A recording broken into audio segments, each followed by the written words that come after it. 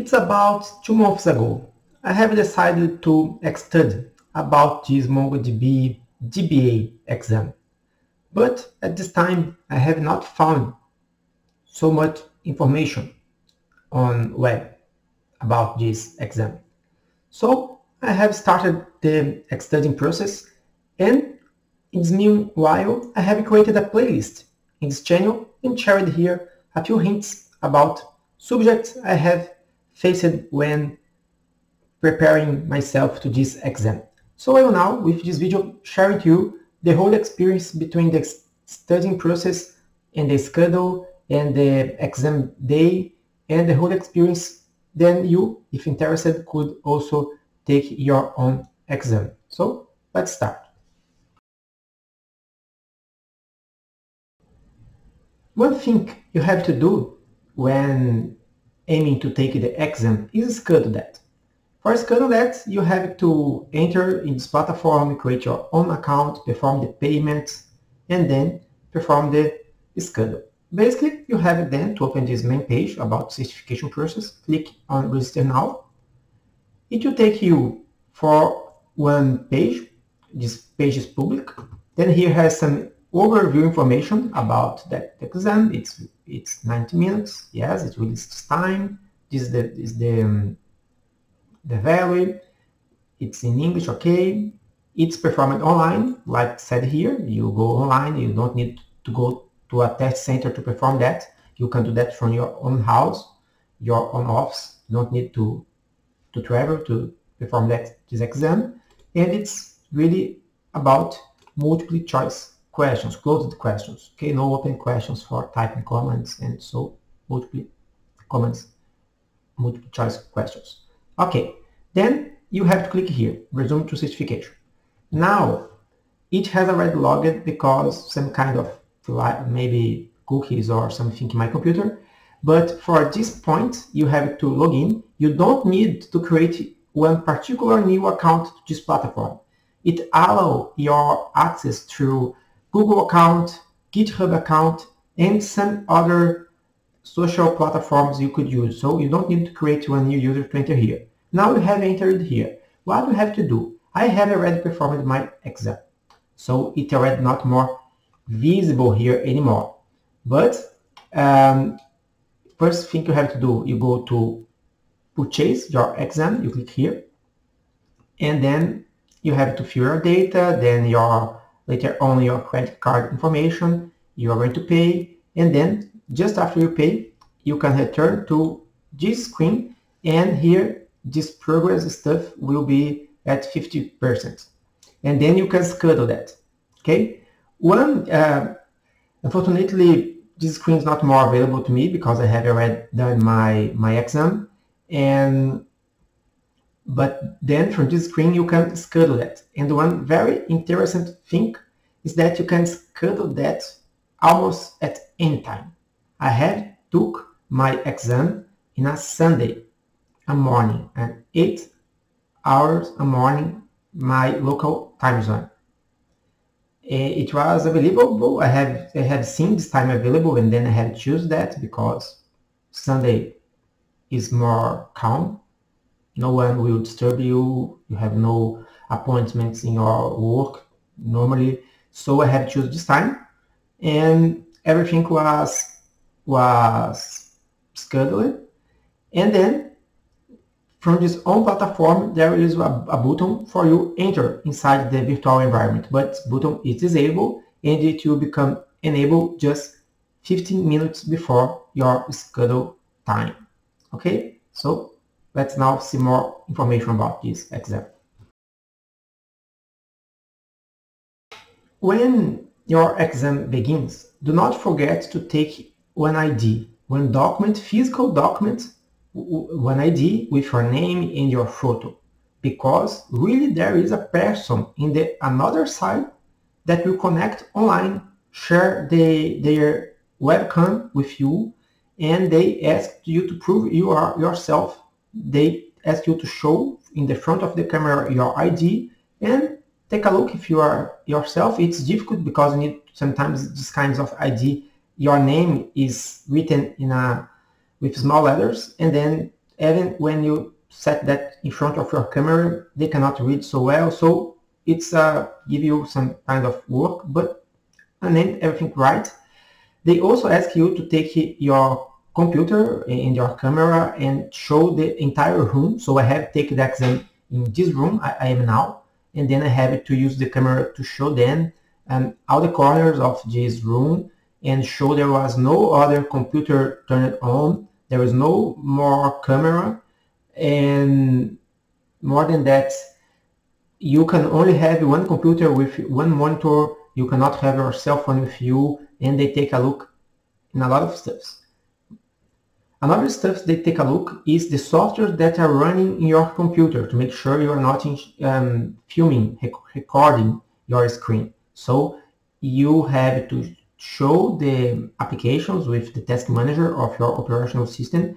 And if you have some kind of software like TeamViewer or another software that, that could share your screen or record your screen, they ask you to shut down this kind of software. So they make this kind of cleanup and then you are able to start your exam and they are with you the whole time. You cannot leave for anything. Okay, now let's see a little more about the questions that are addressed in this exam. Now a little about the questions that are addressed in this exam. Here it is public and official web page it shows you the um, study guide for preparation. And here it shows you the topics that are covered. So philosophy and features, CRUD operations, index, about server administration, about application administration, replication, sharding, and these are the topics. And really, all these topics are, are addressed by the exam. So there are questions about these points. My own opinion, the most difficult top topics are about the replication. Okay, something about sharding is not also so easy. And the easiest questions are, of course, about CRUD and sometimes index and this overall philosophy and features. This part are the easiest one. Um, there are many questions about access rights, about GQ, GCL language like stuffs like security best practice, creating users, giving permission to users, and and so on. And about protocols utilized for encryption, secure connections, and stuff like that. So you could look for these topics to study about that because they are really addressed. And one nice thing in the quest, in the, in the test, is that the the questions are multiple choice questions. Some kind of questions there are just one correct answer. Another questions could have two or three correct answers. But always in the um, in the sentence of the question, they say already how many questions, how many alternatives do you have to mark. So you have sure if there is just one, two, three, you have to check. It, it makes easy. But now, one very valuable hint for you.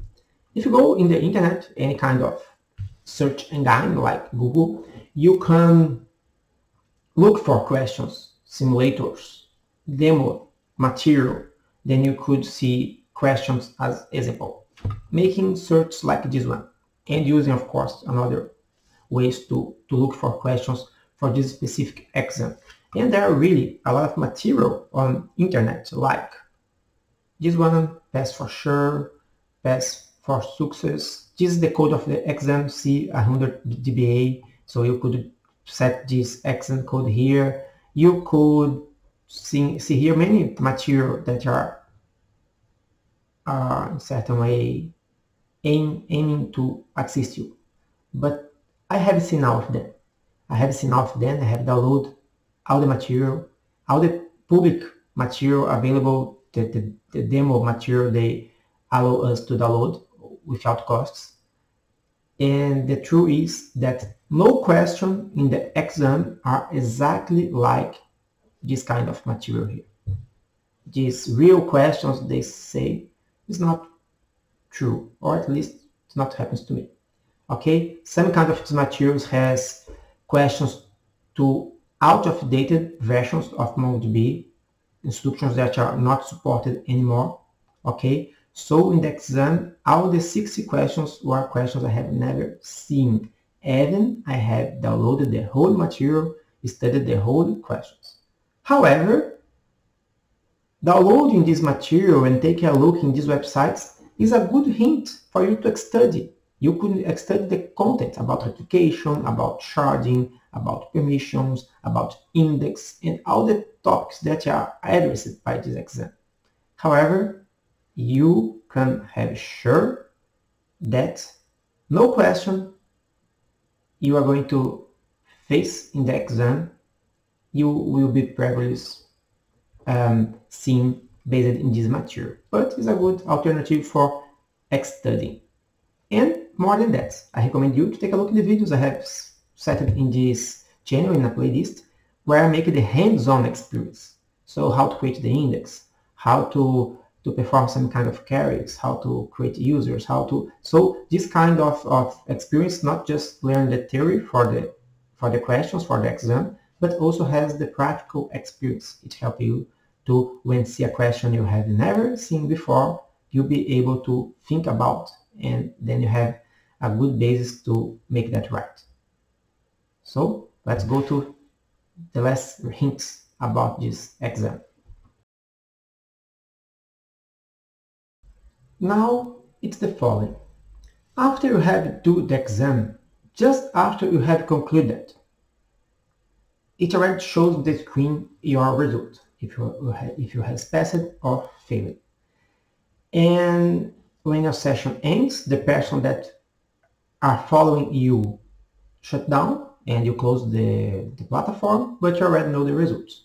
A few minutes later, about minus than 30 minutes, you receive already one email from Credly, this email here. And then here you may, let me open this email here. From here, you already see not exactly your certificate. If you already know Credly, you know this platform, it basically gives to you some kind of, of badge you can set in your curriculum and so on.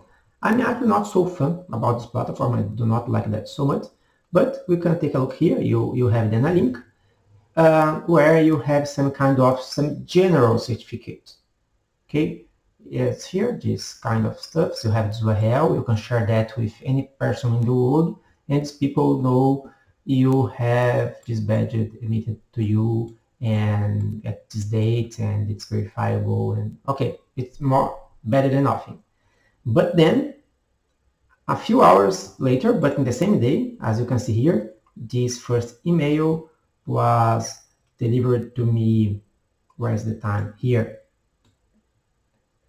three minutes before nine hour. Let me try to open that again, sorry. Here, it was delivered at this time to, to me, okay?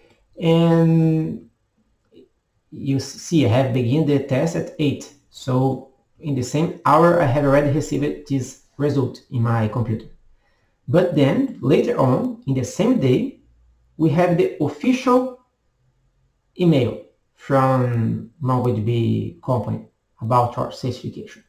This was sent three hours later, the, the beginning of the exam, about two hours later, the end of the exam and then here you are able to download your certificate.